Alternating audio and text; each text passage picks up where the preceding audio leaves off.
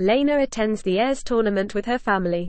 When the combatants break into brutish violence, she is visibly distressed, clutching her brother Laenor's arm.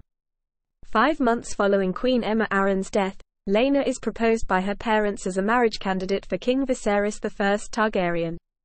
They arrange a meeting between Laena and Viserys, during which the young lady asks the king about the dragons Balerion and Vhagar. She also admits to the king that her mother told her, should he marry her, Laena wouldn't have to bed the king until she turned 14. Despite the political advantages of the proposed marriage, Viserys rejects the match on account of Laena's age, and decides to marry Alicent Hightower. Laena claims Vhagar in 115 AC.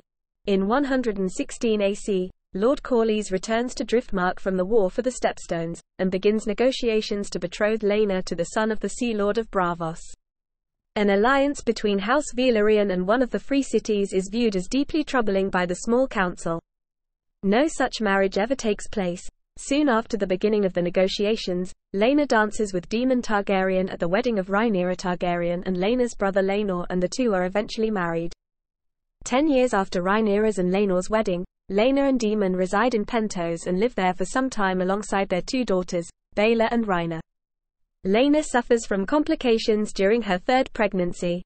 After Daemon is informed that it would perhaps be possible to save the baby through the use of a caesarean section, Laena resolves to die a dragon rider's death, walking to Vhagar and commanding the dragon to incinerate her. Vhagar reluctantly complies, burning Laena alive in front of Daemon. Laena is buried at high tide according to the customs of House Velaryon, her sarcophagus being dropped into the sea. Her eulogy is delivered by her uncle Vaemond Velaryon.